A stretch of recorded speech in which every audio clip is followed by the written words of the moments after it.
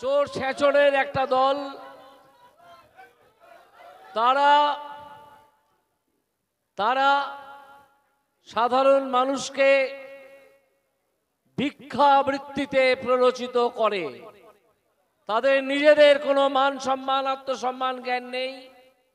তারা বলতে থাকে যে, আমরা তোমাকে কিছু টাকা দিচ্ছি, তার বিনিময়ে তোমরা আমাকে ভোট দাও। আরেক প্রশ্ন হচ্ছে, কার টাকা? এই যে লক্ষ্মীর ভান্ডারের টাকা আপনারা পান, এই টাকা কার টাকা? মমতা ব্যানার্জির পৈতৃক সম্পত্তি তো নয়, অন্য কারও সম্পত্তি নয়, এটা পশ্চিমবঙ্গের মানুষের যে ট্যাক্সের টাকা, পশ্চিমবঙ্গ মানুষ, পশ্চিমবঙ্গের যে ফান্ডে জমা পড়ে, সর্বজনীন ফান্ড, সেইখান থেকে দেয়া হয়। আপনাদের সকলকে আন্তরিক শুভেচ্ছা ও প্রণাম জানিয়ে খুব গুরুত্বপূর্ণ কতগুলো কথা যা না বললেই নয়, সেইগুলো বলতে হবে।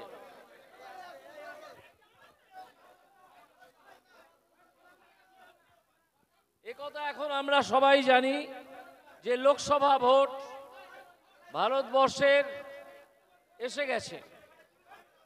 আর এই ভোটে একটা কাজ আমাদের সকলকে করতে হবে। সেটা হচ্ছে যে আপনারা জানেন, গত দশ, এগারো, বারো বছর ধরে একটা চোর ছেঁচড়ের দল পশ্চিমবঙ্গে ক্ষমতায় অধিষ্ঠিত।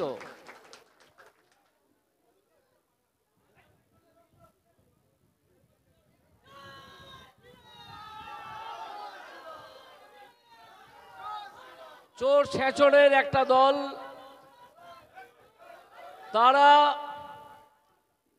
তারা সাধারণ মানুষকে ভিক্ষাবৃত্তিতে প্ররোচিত করে।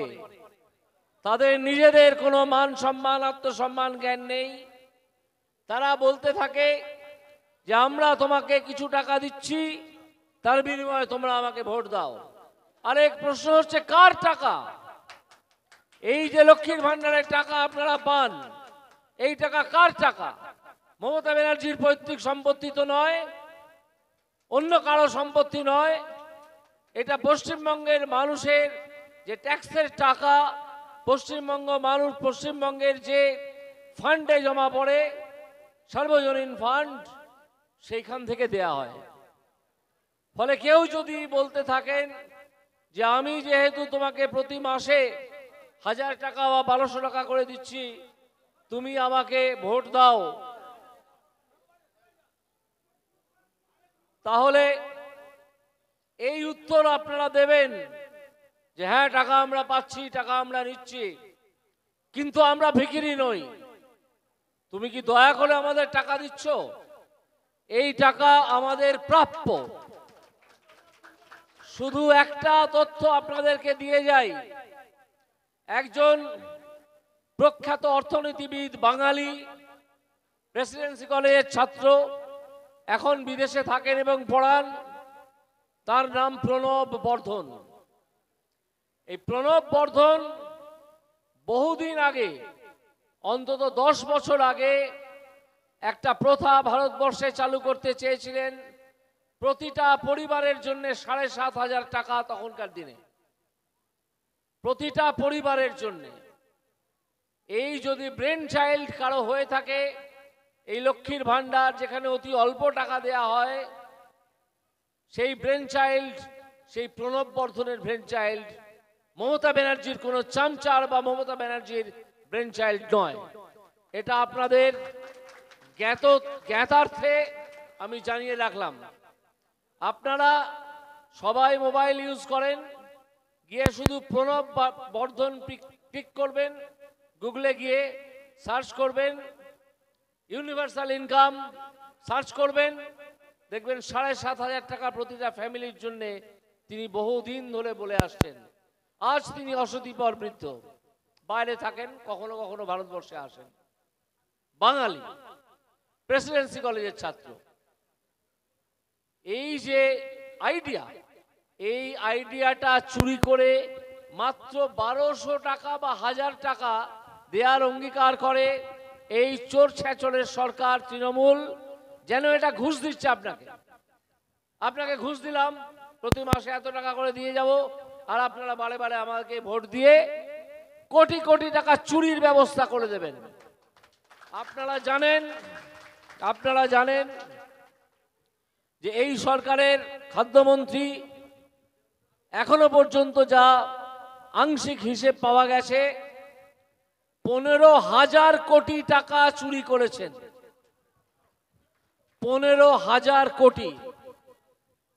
আমি তো অন্তত আজ পর্যন্ত একসঙ্গে আটচল্লিশ লক্ষ টাকা দেখিনি, চোখে দেখিনি, কেমন দেখতে হয়। কিন্তু যে শিক্ষামন্ত্রী ছিলেন পার্থ চট্টোপাধ্যায় তার বান্ধবীর বাড়ি থেকে আটচল্লিশ কোটি টাকা পাওয়া গিয়েছে। পনেরো কেজি সোনার গয়না পাওয়া গিয়েছে। এই টাকার দাবিদার কেউ নেই। অবস্থাটা বুঝুন, আটচল্লিশ কোটি টাকা, পনেরো কেজি গয়না, সোনার গয়না। যার যে বান্ধবীর বাড়ি থেকে পাওয়া গেছে, তিনি ইডিকে জানিয়ে দিয়েছেন যে টাকা আমার নয়, এ টাকা পার্থবাবুর টাকা। আর পার্থবাবু বলেছেন যে, এ টাকা আমার নয়। তাহলে টাকাটা কার? টাকাটা থেকে এলো? এই ধরনের মোট তিন হাজার কোটি টাকা ইডি পশ্চিমবঙ্গ থেকে উদ্ধার করেছে। যে টাকাটা আমার আপনার টাকা চুরি করে অন্য জায়গায় রাখা ছিল।